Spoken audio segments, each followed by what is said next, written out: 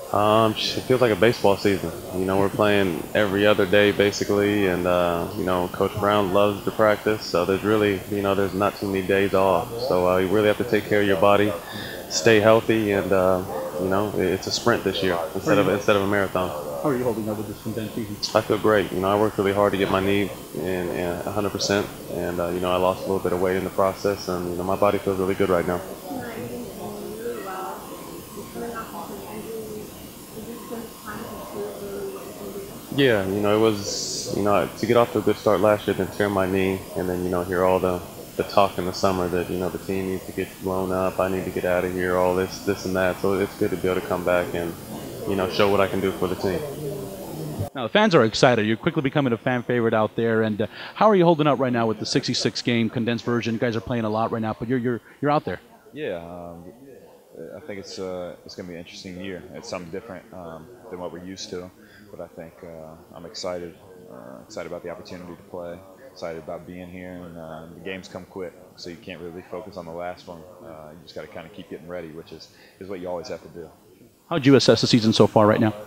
Uh, I think we. I think um, it's always good to get wins. I think we have a lot of improvement that we can make, and I think we will. Uh, and we're continuing to grow uh, as we uh, as we learn uh, new things, a new system, offensively, defensively. So.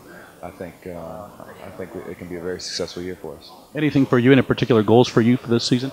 Um, I haven't really thought about it. I think uh, for me, it always comes back to team goals. I think uh, doing anything that I can to help the team win, uh, win games night in, and night out. Uh, that's what that's what I'm going to do.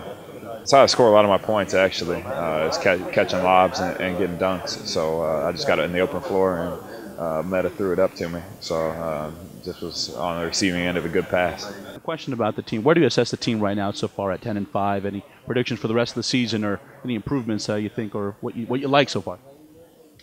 I like what I see. You know, I mean, the guys are competing. You know, they, they, they get out there and they work. They work hard at it. Um, you know, obviously, you know, you, know, you got Derek and you got Kobe. Uh, you know, really leading the charge, and the, and the guys are really out there rallying around one another, and so they're playing together. They're cohesive. Uh, it's not going to be, and they see it's not going to be a cakewalk every night, um, but they're finding a way to win and finding a way to be in the game going down the stretch, and that's really all that you ask, especially early on. Uh, this team's still finding its chemistry because there's so many new players, but they are playing hard, and that's all that you really need right now. Thanks a lot, AC. All right, appreciate it. Appreciate it. All right, thanks. Could you guys say you're watching Lakers Nation, Doctor? Give these guys an, any advice, any of the younger guys that are just starting, not just basketball advice, but what it is to be a Laker or ever, any conversations like that?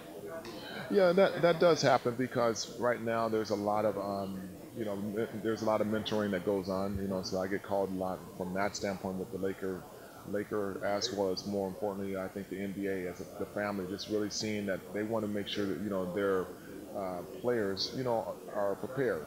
You know, and they can they can step up to the challenge. You know, off the court, and because they're going to have enough of one on the court. And so we want all the guys to be successful in this league. And so I get called to be a mentor and, and really to counsel guys as much as possible.